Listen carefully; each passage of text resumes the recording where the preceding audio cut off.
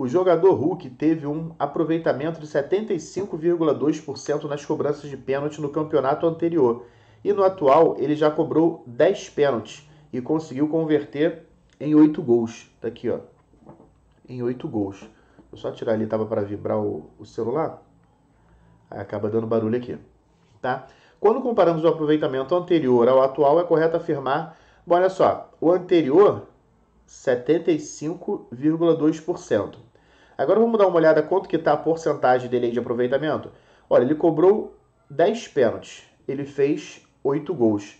Então o aproveitamento dele está 8 em cada 10, tá? Tá 8 em cada 10. Se eu estou falando de porcentagem, é bom que a parte de baixo aqui se transforme em 100. Para se transformar em 100, eu vou pegar esse 10 aqui e vou multiplicar por 10, ó. Por quê? Porque aí eu tenho aqui a parte de baixo, denominador igual a 100. 10 vezes 10 vai dar 100.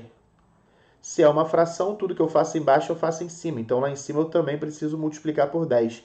8 vezes 10 vai dar 80. E 80 sobre 100 a gente conhece que é 80%. Ora, era 75,2%. Agora é 80%. O que aconteceu? Ele aumentou o aproveitamento. O aproveitamento dele aumentou, né? Então eu já tiro, ó, não é diminuiu, não é diminuiu e nem foi o mesmo. Ele aumentou. Agora, será que aumentou em 80%? Não, né, galera? Ele foi para 80, mas era 75,2. Então é só você pegar o 80 e subtrair de 75,2, você vai ver que aumentou em 4,8%, letra C. Tá bom? Letra C. O aproveitamento aumentou em 4,8%. 4,8%. Beleza? Então, mais uma questãozinha concluída com sucesso, uma questão de porcentagem. E você vai reparar que a gente já fez, né? A gente está na quarta questão aqui.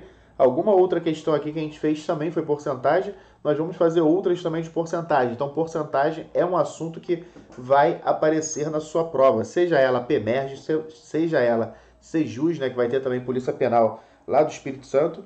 Enfim, qualquer prova aí da IBAD que contenha matemática, né? Vai aparecer o tópico de porcentagem. Então, a gente tem que ficar ligado nisso daí, tá bom? Esse aí é o bizu. Vamos lá, seguindo então, questão de número 5. Lembrando que o PDF né, com essas questões já foi mandado lá para o grupo dos alunos, tá? Quem está aqui na live é meu aluno, já está com esse PDF em mãos. Se alguém quis imprimir, tudo bem. Se não está vendo aí no, no celular ou no computador, mas é importante tentar fazer antes porque já serve como simulados, tá bom? Já que todas as questões são da Banco IBAD. Vamos lá. Qual é o valor de y na equação? Eu tenho essa equação aqui, ó, 3 que multiplica 3y menos 1 é igual a menos 3. Bom, para descobrir o valor do y, eu tenho que resolver essa equação. Deixa eu até reescrevê-la aqui. Ó. É 3 que multiplica 3y menos 1. Tudo isso é igual a menos 3. Resolver essa equação resolvendo essa equação. Eu posso fazer isso daqui, né? Aplicar aqui a distributiva, ou posso pegar esse 3 que está multiplicando, já passar ele para o outro lado dividindo, tanto faz. Vou fazer o que a maioria aprendeu, ó. aplicar aqui a distributiva, uns chamam de chuveirinho, tá? Então eu tenho 3 vezes 3y vai dar 9y. 3 vezes menos 1 vai dar menos 3. É igual a menos 3. Quem já tem facilidade já corta aqui, né? Menos 3 com menos 3. Mas vamos fazer passo a passo. Ó. Esse menos 3 eu vou passar para o lado direito. Então eu fico com 9y é igual a menos 3 que já estava. E esse menos 3 aqui, quando vier para cá, vem como mais 3. Agora sim zerou. Ó. Menos 3 mais 3 dá zero, né? Logo, 9y é igual a zero.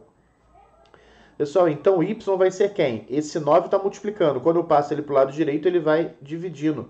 Então, y é igual a zero dividido por 9. Uns falam que isso é impossível, outros falam que dá 9, outros falam que dá zero. E é o seguinte, impossível numa divisão é quando a parte de baixo que é zero. Tá? Se esse zero aqui tivesse embaixo, fosse 9 dividido por zero, aí daria impossível. Essa divisão aí, ela dá certo sim. Tá? Imagina ali, vamos supor, eu tenho zero balas na mão. Vou dividir para nove alunos, então cada aluno vai conseguir quantas balas? Se eu não tenho nenhuma, cada um vai ficar com zero balas. Então, zero dividido por qualquer número sempre vai dar zero, tá bom? Zero dividido por qualquer número sempre vai dar zero. Logo, y é igual a zero, logo letra C é o gabarito da número 5. É o gabarito da número 5. Foi?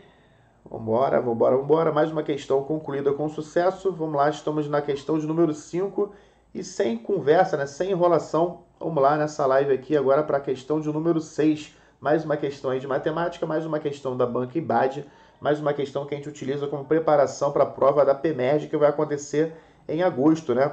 Então, para quem não sabe, para quem está aqui porque é inscrito no meu canal e ou esse vídeo caiu no colo, eu tenho um treinamento aí de matemática voltado para PEMERG, né? com questões da IBAD, que isso é muito importante, esse é o grande diferencial desse treinamento, que a gente vai fazer centenas de questões da IBAD. Então você fica já bem é, é, por dentro da, da forma com que a banca pensa e não vai ser pego de surpresa na prova de matemática em agosto. Quem quer conhecer esse treinamento, eu estou deixando o link aqui no primeiro comentário fixado nesse chat, ou se você está assistindo essa live depois né, do ao vivo, tá no, no, na descrição na descrição dessa live aqui, tá? Desse vídeo, né? No caso, se você estiver vendo depois. Diz assim, ó. Em uma competição, a pontuação de Leila é a seguinte. Primeira rodada, mais 80 pontos. Segunda rodada, menos 460. Terceira rodada, mais 220. Quarta rodada, menos 40. Quinta rodada, menos 110. Qual das alternativas apresenta o saldo de pontos obtidos, obtido por Leila? Então, vamos ver qual é o saldo, né? que eu vou fazer aqui? Ó? Só tem duas que é positiva. Essa e essa aqui. Então, 80 mais 220, só aqui vai dar 300. Agora, olha os negativos. Ó. Eu tenho 460, 40, só aqui vai dar 500. 500 mais 110 vai dar 610. Então, eu tenho menos 610. Aqui, ó. Menos 610. É isso? Vamos só refazer aqui a continha. Aqui eu tenho 80 mais 220. Isso daí são os positivos, tá? Então 80 mais 220 dá 300. 460, ó, negativo. Vamos somar aqui os negativos. 460, depois eu tenho menos 40 e o 110 também. Vou somar tudo, isso daqui tem que dar negativo, né? Aqui, ó, 0, aqui vai dar 11, vai 1, 610. Então, certinho. Quanto que eu tenho ali de saldo, então? Olha, eu vou pegar. O saldo vai dar negativo, né? Então eu já sei que o saldo vai dar negativo, porque aqui é, é, é negativo. O que, que eu tenho então? Eu tenho, já não pode ser aqui, ó, a letra A, né? A letra B, né? Que, que é positivo, também não pode ser a letra D. Então esses três aqui são negativos. Então qual é o saldo aqui? Eu vou pegar aqui o 610 e vou subtrair de 300 tá? 610 subtrai de 300. Aí só que vai dar negativo, né? Então aqui 0, 1 e 3. Tá legal? Então eu tenho 310 negativo, letra A.